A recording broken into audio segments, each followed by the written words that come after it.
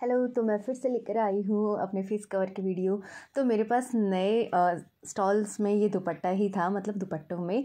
तो मैंने सबसे पहले वीडियो इसी का बनाना प्रेफर किया। इसकी चौड़ाई काफ़ी ज़्यादा है और मैं इसे सिंगल सिंगल लेयर में ही अपने फेस पे बाँध रही हूँ। तो ये कुछ ए, मुझे तो इस तरह लग रहा है कि एक दुल्हन जो है क्योंकि दुल्हन के पास ऐसी रेड आउट नहीं होती वो अपना फेस कवर करके आई है।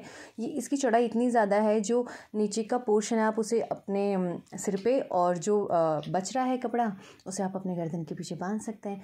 तो इस तरीके से आप एक बड़ी ओढ़नी से अपने फेस को कवर कर सकते हैं इवन ढक सकते हैं पूरा का पूरा। अगर आप पे चश्मा नहीं है तो आप घूंघट की तरह ले सकते हैं।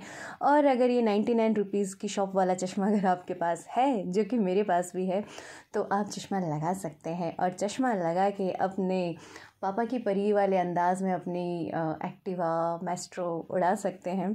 तो ये दुपट्टा ना तो लेंथ में ज़्यादा था, ना ही चौड़ाई में ज़्यादा था। और सिंपली यही ठीक रहता है क्योंकि ज़्यादा चौड़ाई वाले दुपट्टे व्हीकल पर संभल नहीं पाते हैं और साथ ही साथ हमें ग्लव्स भी ग्लव्स भी वियर करने होते हैं। बहुत ज़्यादा रिक्वेस्ट आती है, आप ग्लव्स वेयर कीजिए ग्लव्स वेयर कीजिए। अजी, मैं सोचती हूँ वीडियो बनाते वक्त ग्लव्स वेयर क्यों करना? कहीं बाहर जाएँ तो ग्लव्स फिर भी वेयर करें।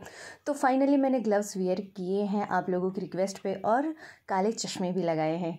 और अगर आपको किसी भी तरह से फेस को कवर नहीं करना, जैसे कभी कभी मुझे फेस कवर नहीं करना होता सिर्फ़ सिर्फ़ सिर को ओढ़ना होता था ताकि जो धूप लग रही है वो नहीं लगे तो इस तरह से आप अपने दुपट्टे पर एक सेफ्टी पिन लगा लीजिए और दुपट्टे का वन पार्ट अपने शोल्डर पर रख लीजिए।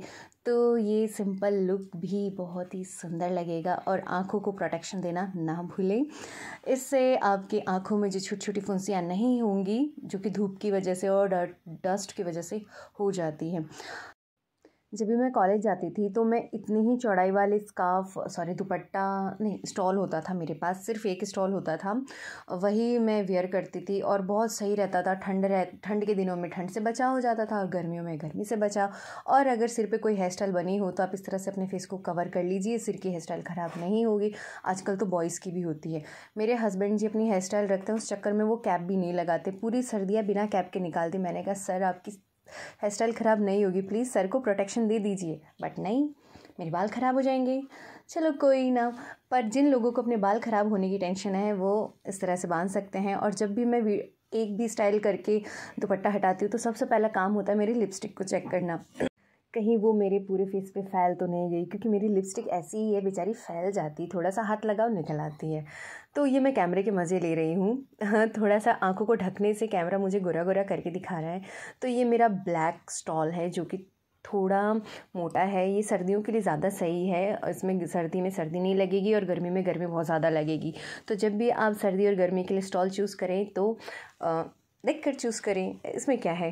तो जब भी आप ये स्टॉल सिर पे बांधते हैं ना तो थोड़ा आइस तक उसका फैब्रिक ले, कपड़ा ले, ताकि फिर क्या होता है ना, वो पीछे की तरफ़ चला जाता है और फॉरहेड दिखता रहता है। अगर आप पहले से ही थोड़ा मार्जिन लेके अपना स्काफ बांधेंगी तो वो पीछे नहीं जाएगा और फिर आप इजीली अपने स्काफ को बाँध सकते हैं, नहीं, दुपट्टे को, स्टॉल को।